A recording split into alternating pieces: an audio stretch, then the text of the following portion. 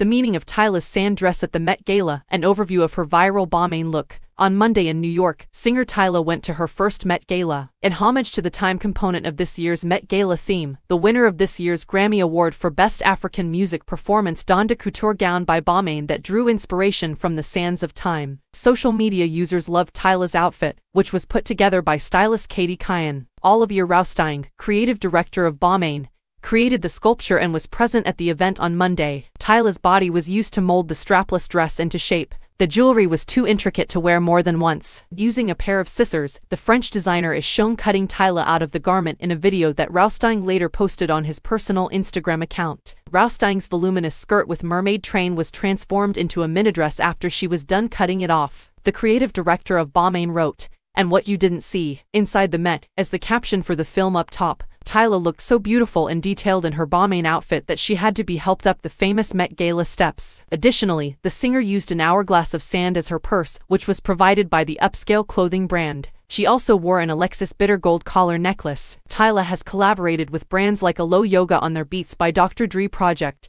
and starred in the Gap Spring 2024 campaign since becoming well known in the music and fashion industries. The Costume Institute's yearly exhibitions are celebrated and funds are raised for the Metropolitan Museum of Art in New York City through the Met Gala. The The Garden of Time theme this year was a reference to the upcoming public exhibition Sleeping Beauties, Reawakening Fashion, which opens on Friday. Zendaya, Jennifer Lopez, Chris Hemsworth, Bad Bunny, and head editor of Vogue Anna Wintour co-chaired the 2024 event.